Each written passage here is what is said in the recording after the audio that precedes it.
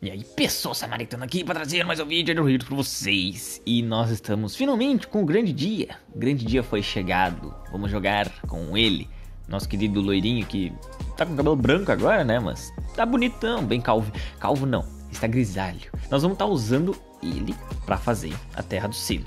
Porém, eu quero jogar com ele assim mesmo como ele tá. Não quero colocar ele de House Owner, na verdade ele não tem, né? É verdade.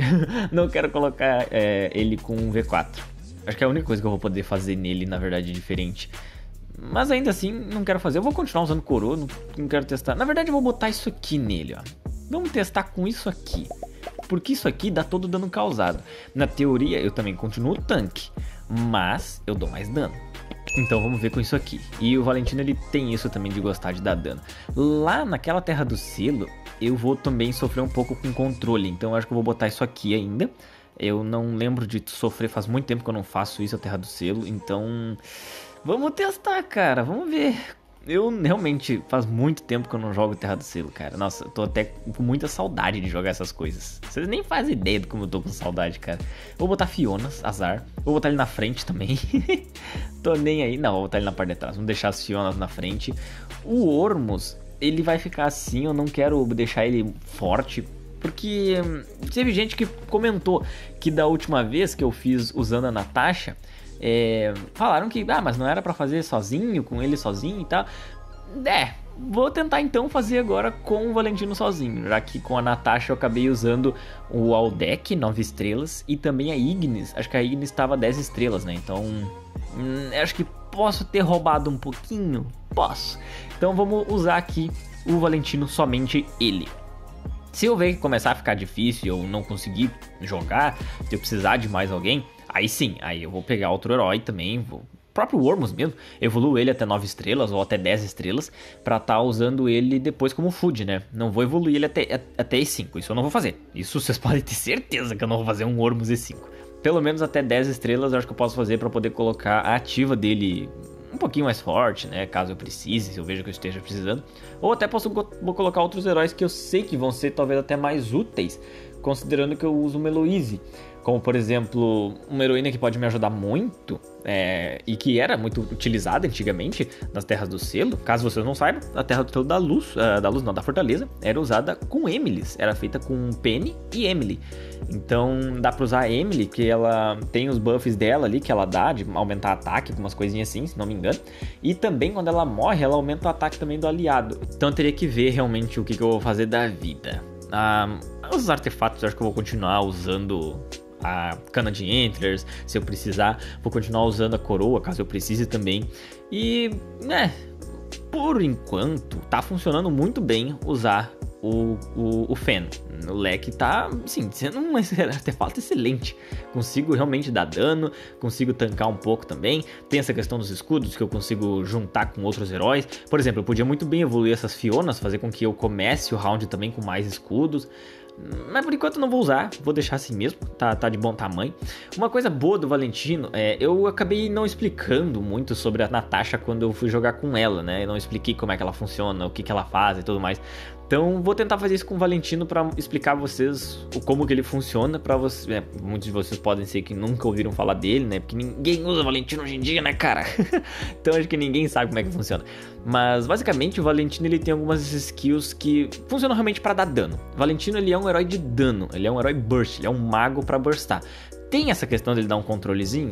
Também, mas o objetivo dele seria burstar, tanto que uma das skills dele diz que quando ele tá junto no campo de batalha e algum herói dá habilidade, ele dá dano no adversário. Então toda vez que vocês verem um raiozinho explodindo no cara, é porque o Valentino está dando dano nele. Eu não lembro quantas são as porcentagens, mas eu sei que as porcentagens são bem baixas, tá? Não são altas, como vocês podem estar tá imaginando. Ele tá dando dano assim e tudo mais, mas é por conta de outras coisas que eu já expliquei nos outros vídeos. Ele dá uma ativa, que vocês podem ver, que acerta quatro alvos. No primeiro alvo, se não me engano, acho que dá pouco, não, dá muito dano, mas pouca chance de stun. E assim o raio vai diminuindo uh, o dano que ele dá, mas aumentando a chance de stun. Se não é isso, é o contrário. Ele começa dando pouco dano, mas muito mais chance de stun, e vai diminuindo a chance de stun, em consequência, aumentando o dano. Não me engano, é assim, ou é o contrário, é uma dessas duas. Eu posso estar lendo ali depois. Mas a ideia do Valentino é que ele tem que burstar, tem que matar alguém, tem que dar dano e também vai acabar controlando quem sobreviver, né? Então, pô, isso é muito bom, cara. Isso é muito bom. É uma ideia bem interessante, um conceito interessante de herói.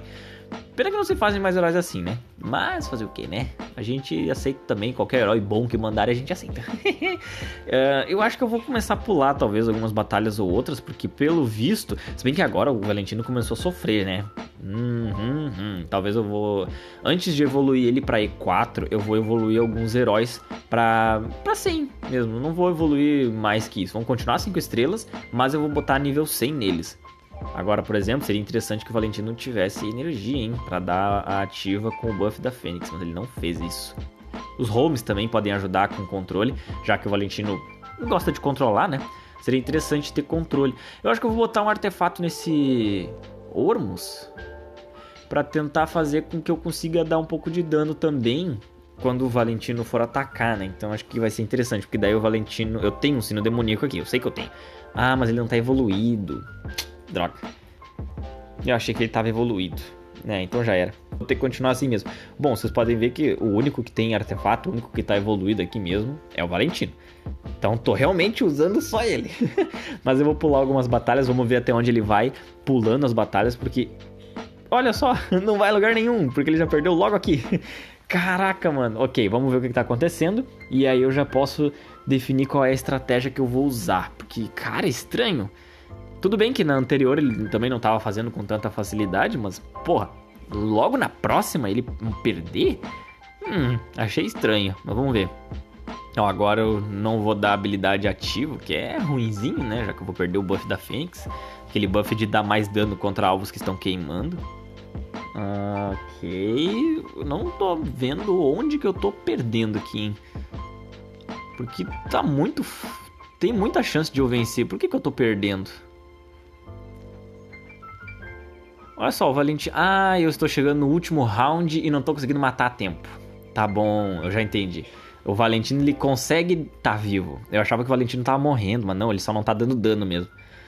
Olha, se o Valentino não tá dando dano, eu tenho algumas opções. Ou eu posso colocar isso aqui, bastão justo, ou eu posso colocar Antler's Cane. São duas opções que eu posso colocar nele. Eu acho que eu vou tentar primeiro com bastão justo. E aí, ele gritando, ele dando dano ali, pra mim já tá bom. Não, eu quero ver se na verdade ele tá apanhando. É, quer dizer, ele não tá conseguindo dar todo esse dano que ele daria. Se isso é por conta de eu estar um pouquinho mais tanque, né? Porque como vocês viram ali, eu acabo usando aquele artefato lá, eu fico um pouquinho mais tanque. Se ele continuar vivo, para mim já tá valendo, porque significa que ele não precisa estar tão tanque assim. Não preciso realmente daquele artefato me deixando tanque. Eu posso colocar um artefato de dano e ele vai conseguir jogar normalmente sem problemas. Eu acho que já foi mais dano do que tinha antes, realmente isso foi. Mas eu quero ver agora nos próximos rounds, quando o Valentino começar a tomar hit. Porque por enquanto eles estão atacando a Fiona. Nossa, ele tá dando muito mais dano. Meu Deus, posso muito bem jogar com isso aqui que tá tranquilo. Inclusive, eu acho que eu vou botar uh, Antler's Cane. Nós estamos chegando até o round 8. Então eu acho que se eu colocar um outro artefato aqui, ele vai ficar muito mais forte. Caramba! Eu vou pensar melhor então e eu vou conseguir. Olha, eu acho que dá pra fazer com ele assim mesmo, hein? Acho que dá. Eu acho que vai dar certo. Cara, o Valentino tá me mostrando ser um herói muito forte, cara. Eu tô gostando muito desse boneco. Mas vamos lá. Isso aqui vai ficar pro próximo vídeo, que vai ficar pra segunda parte. Provavelmente a segunda parte já vai ser eu fechando isso aqui. Então, se você quer ver isso, deixa seu like, se inscreva no canal que eu vou entender que você tá gostando mesmo desse conteúdo, que você gosta de assistir essas coisas. E eu vou trazer, claro, cada vez mais e mais. Mas primeiro você tem que se inscrever e curtir o vídeo e aí mostrando para mim que você quer. Se não, eu posso parar, né? Não tem problema nenhum. Eu acabo parando e aí, infelizmente, ninguém vai ver o final dessa saga.